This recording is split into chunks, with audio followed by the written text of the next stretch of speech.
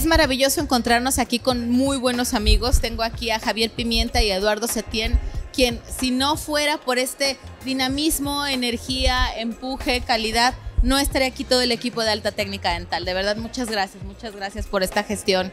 Me fascinaría como latinos eh, que ustedes eh, pudieran exponer a todo nuestro público, porque hicimos muchas entrevistas en diferentes idiomas, pero ustedes pueden transmitir esta pasión. Primero sería, ¿qué energía fluye aquí en el Congreso de Oral Design? ¿Empiezo yo? Sí. Bueno, pues nada, esto es más familiar que otra cosa, ¿no? Es un congreso, obviamente están los mejores aquí, son todos maestros, pero pues es, una energía un poco, hay que estar, porque no sé cómo la describe. Y bueno, nada, disfrutamos mucho, lamentablemente ya se terminó y ustedes también están en todos lados, o sea que no es una cosa... Y bueno, pues nada, mira, acá tienes un oral design que él te lo puede explicar mejor. Eduardo, cuéntanos en particular tú como eh, oral design, ¿cómo vives esta experiencia cada dos años? Pues cada dos años nos encontramos con que tenemos que venir a este meeting porque es como ir a visitar a la familia. Tenemos miembros que son de todas las partes del mundo y es fantástico poder encontrarnos aquí y poder hablar cómo te va, cómo vas, cómo vienes. Ya desde el aeropuerto sentí esa energía. Uno de los miembros tuvo que dar la vuelta y conducir una hora más para venirme a buscar a mí y me recibió con una sonrisa estupenda, como lo hace un hermano, como lo hace un familiar. Es muy bonito. Y sería fascinante poder eh, que ustedes nos dijeran cómo se percibe de este lado en Europa el trabajo y la labor que ha hecho Alta Técnica Dental durante 23 años. Bueno, yo los conozco hace mucho tiempo porque saben que nací en Venezuela y yo era un estudiante y ya ustedes existían, entonces... No me hagas sentir vieja, por favor. No, porque yo pare... no, pero yo parezco viejo, pero no lo soy, 35, cumplí el otro día. No. pero es verdad, es verdad que yo los conozco hace tiempo y ya eran referentes en, en Latinoamérica. Y cuando te conocí hace poco, creo que fue en Suiza, los conocí, dije, juez, ya están aquí. O sea, han pasado años, pero bueno, se nota que hay un trabajo detrás y que bueno, que me alegra mucho porque como latinos que somos, pues es un orgullo que ustedes estén en todos lados, así que bueno, y él pues bueno. Sí, pues eh, yo creo que tenéis también el empuje suficiente como para estar aquí, porque no habéis parado hasta venir, porque sabéis que aquí fluye algo especial y aquí queríais venir, queríais conocer al señor Geller y ha sido fantástico teneros aquí. La segunda parte ahora es que nos conozcan en el resto de, Hispanoamérica, que estoy seguro que con el trabajo que hacéis lo vais a conseguir.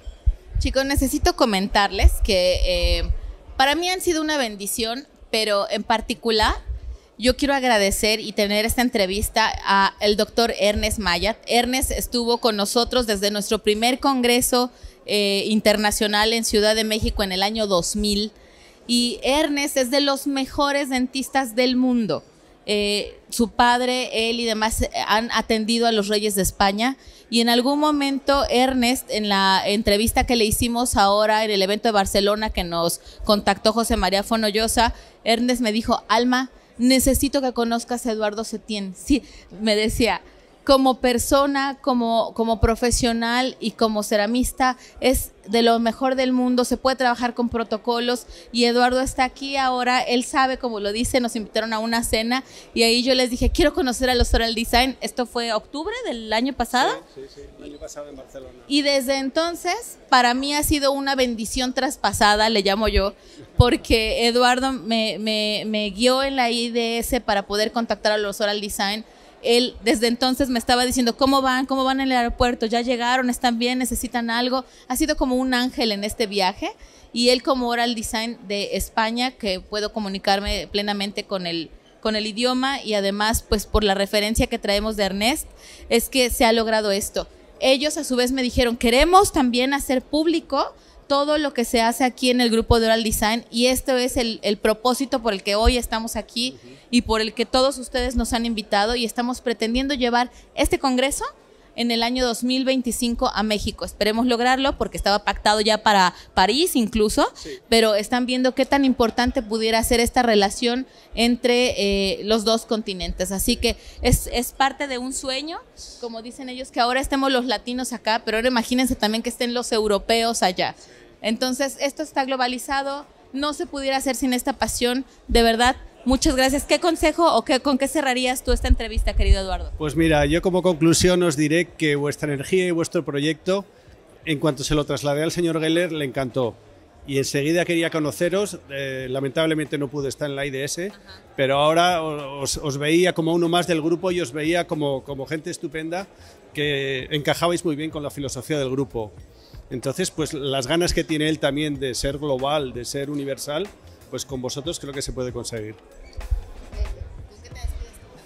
Yo me despido, pues nada, dicen primero que nos vemos dentro de poco, que yo me voy en agosto para allá. Uh Sí, estaría allá en Monterrey, Ciudad de México. Y nada, agradecerle a usted, al equipo de, de Alta Técnica Dental, por pues, esto una oportunidad. Al final es una plataforma que no, no se le niega a nadie. Así que nos vemos pronto y muchas gracias por, por la entrevista. Esperemos lograrlo, un sueño más cumplido. Gracias, Simposio Oral Design 2023. Nos vemos pronto.